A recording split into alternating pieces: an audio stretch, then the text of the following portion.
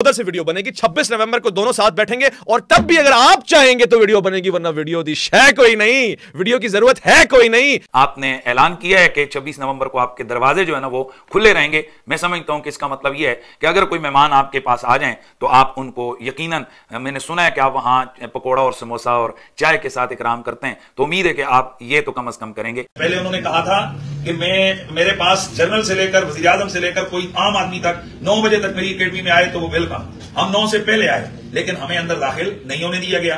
और पहले उन्होंने हमसे कैमरे और मोबाइल वगैरह ले लिए बंद कर दिए नई वीडियो बनाने दी तो हमने एहतजाज किया। हम कोई चाय पीने थोड़ी आए या हम कोई यहाँ उनकी जियारत करने थोड़ी आए आपकी और उनकी सेटलमेंट है। मैं इंतजामिया हूँ। मैं आपको अंदर बैठाने का मज़ा दूँ तसल्ली से आपको अंदर बैठा देंगे कोई ऐसा मसला नहीं है। क्योंकि हम इंतजामिया का काम कर रहे हैं। मजहबी आपका क्या मामला है? अंदर जाके क्या होना है? वो आपका उनके साथ मामला है। आप लोग कह रहे हैं कि जी कैमरे और मोबाइल यहाँ छोड़ दें। सर दर्ज होगा। उसके दौरान आपको कैमरे मिल जाएँगे कोई ऐसा मसला नहीं। बात है आप किससे बात कर रहे हैं? एक बंदा बात कर रहा है। कैमरे आपके ले आएँगे वो कोई मसला नहीं इशू नहीं है सर। क्या अली मिर्ज़ा इंजीनियर ने आपको बुलाया था? जेलम के आओ हम मुनाजरा करेंगे।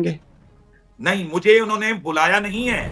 तो अगर अली इंजीनियर मिर्ज़ा ने आपको बुलाया ही नहीं आप खुद से चले गए गाड़ी तैयार कर ली तो क्या? ये अखलाकी इकदार की बात मुनाफी नहीं है?